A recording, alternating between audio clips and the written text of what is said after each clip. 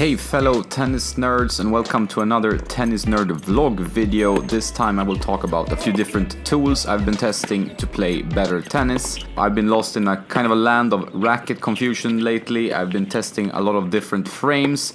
I have no idea what racket I'm supposed to use for match play. I know a lot of you ask what racket is your tournament racket and it's been really difficult for me to answer that question. For a while I felt like I would go with the Clash Tour, but then I felt like I couldn't get really the control I need for my game, so I got back to my old Liquid Metal Radical Tour. Then that felt too difficult to use when you play these younger guys who hit with a lot of spin, and I did really like the Prince Textreme Tour 310 that I recently reviewed, but in the end that string pattern also felt too open at times. Of course it could be as a choice of string uh, in that racket because it played a bit better I think with the Yonex Polytour Strike. Then I was also testing the Gravity Pro, the new head Gravity Pro that I've also reviewed. I really love that racket. It felt familiar and comfortable. 1820 string pattern gives me great directional control, a 330-ish swing weight, which uh, covers the stability that I need for my game. 100 square inch uh, roundish head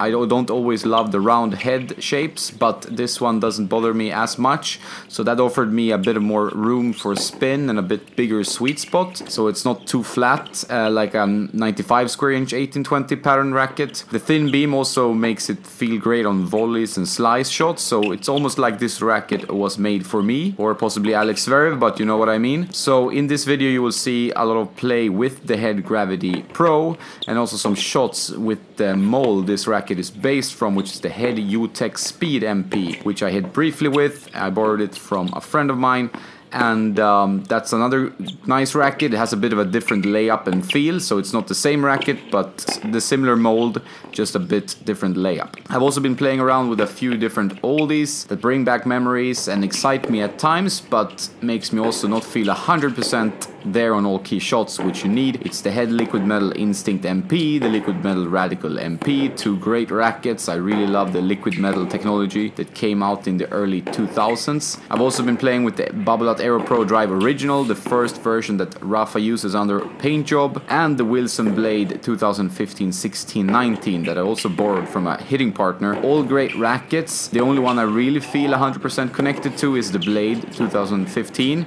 I used to play with the closed pattern version, the 1820, and uh, that, that still plays great. But this 1619 feels a bit easier to use these days, so uh, I might just uh, play around with that a bit more. I've been um, using it with MSV Focus Hex, which is a great budget string, and it also plays really nice in this racket, even when it loses tension. Uh, so I will talk more about strings in a coming video, and possibly a lot about like budget strings, because I know it's not easy to keep buying string reels for $200 and um, you're breaking a lot of strings. So let's um, have a topic where we talk about the different budget strings that are good for the wallet and good for the racket as well. But the issue with the blade in the end might be for me that I don't get the same plow through, uh, the lower swing weight that I get from the heavier Gravity Pro. So this is all the confusion kind of a racket nerd goes through. I would like you to comment if you recognize any of this with all the switching back and forth and you can't really find the proper feeling that you're looking for. Sometimes it's just your footwork, sometimes it's just something you're missing in the whole racket setup.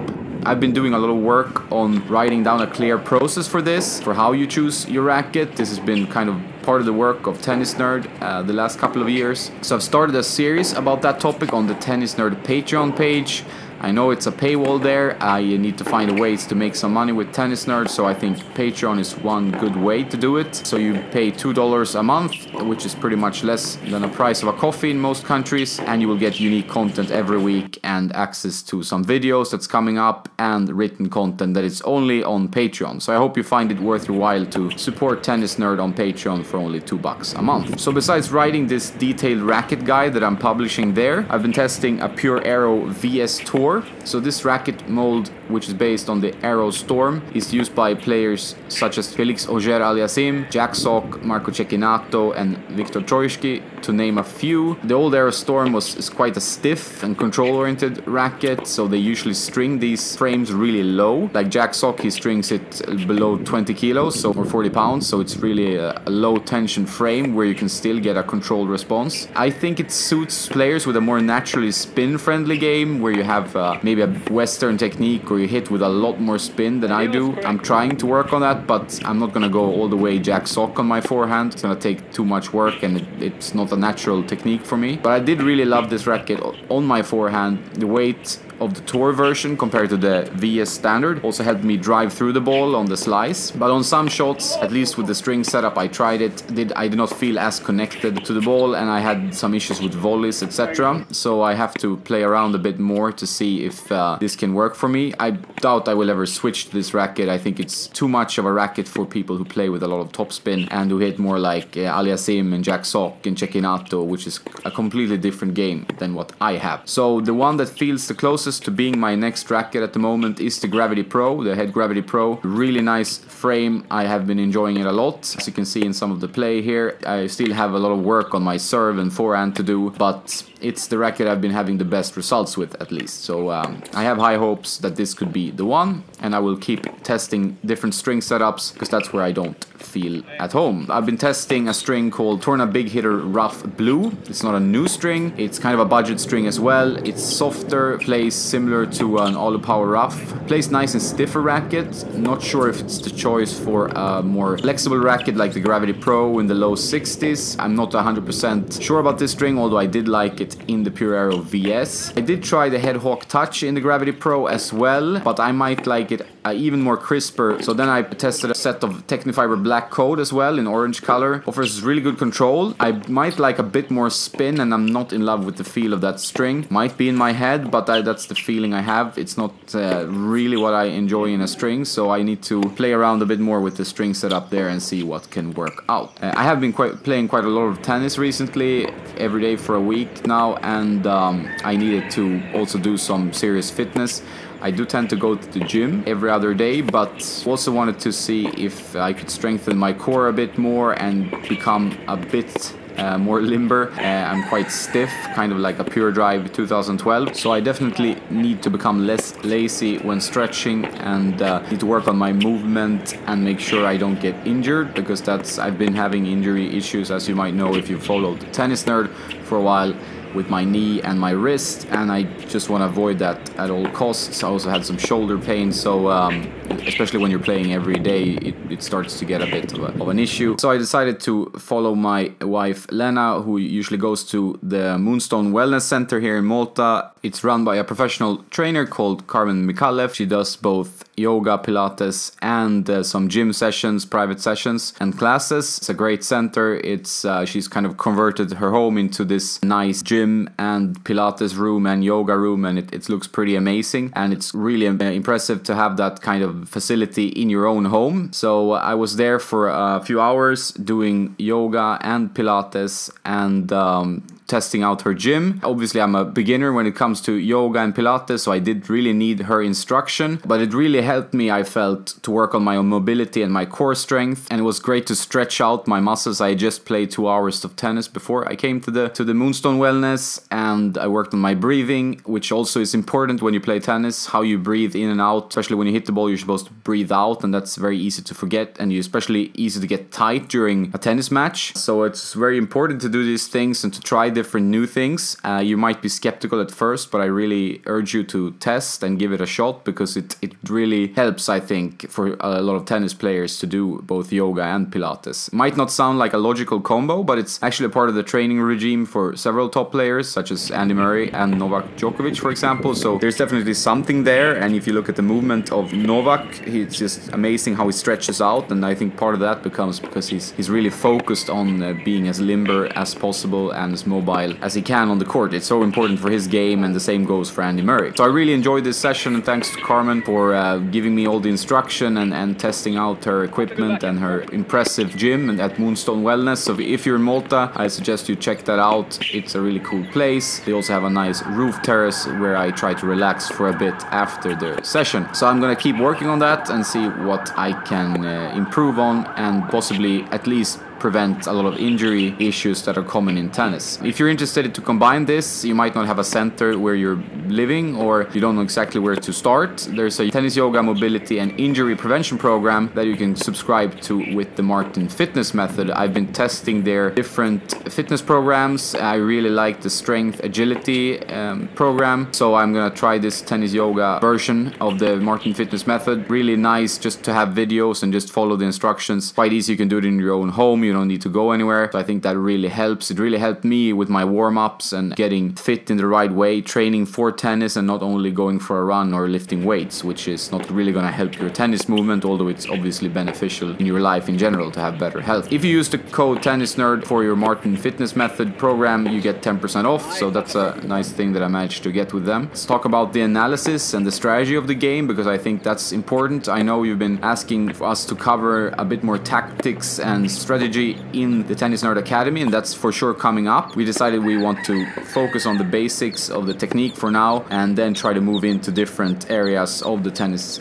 game later on. But it's coming for sure. One thing that I struggle with is that I enter a tennis match, whether it's a practice match or it's a tournament match, and I usually have no real game plan besides maybe something ultra basic like hit more to his backhand because it's weaker, uh, which works in 70% of all cases because most players' backhands are weaker. But it's still not much of a strategy. It's not something that's gonna help you win a lot of matches. So I'm testing the functional tennis match journal, which is a, a match journal where you write down your strategy pre-match and make sure you you followed it post-match. So you actually analyze what happened, the result, how well did you execute your plans. So you have you had a plan A or a plan B. Did you set up match goals like build points, open up the court, attack the net, etc. And then you can write down positive aspects of what you did and what you need to improve for the next match. Uh, this is just a great uh, way for you to you know either teach junior players or players who don't think about this at all, or for yourself to actually put down what's happening in your matches because sometimes a tennis match can feel like a car accident. It just happened and you you lost and you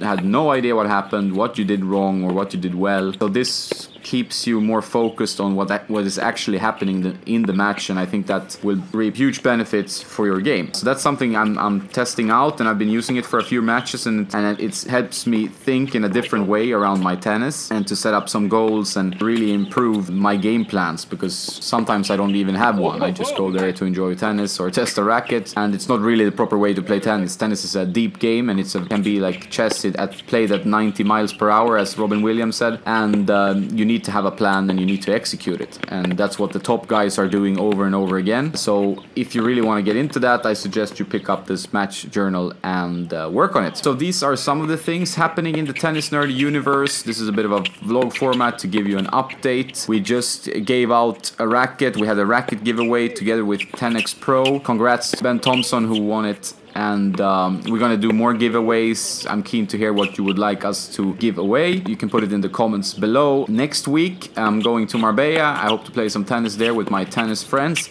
and hope to record some content. Later today, I'm heading out to the court with Nick and VJ. We're going to record another Academy video. I hope to have it up next week. Lots of things happening. Really appreciate all the support and the kind comments. If you like to support Tennis Nerd, please buy a racket, a t-shirt, or just become a patron at two bucks a month. I uh, also sent out the first newsletter in quite a while. Please subscribe and make sure you don't miss out any Tennis Nerd stuff. Please also share your Tennis Nerd with your friends on Facebook, Instagram, Twitter, and through tennisnerd.net. Every help to spread the word is of course appreciated. In the end, I want to wish you a nice day and don't forget to play some tennis.